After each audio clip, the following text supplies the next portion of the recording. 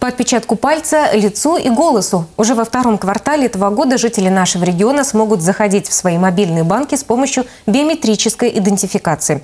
Процесс тестирования в одном из крупнейших банков страны завершен успешно, и система готова к массовой эксплуатации.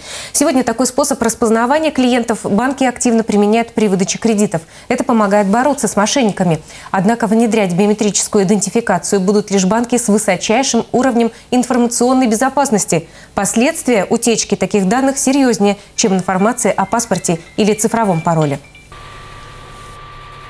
Биометрия – это то, что сложнее всего подделать, и то, что тяжело получить злоумышленникам.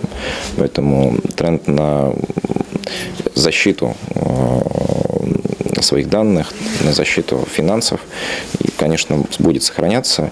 Ну и лицо мы никуда с вами не потеряем.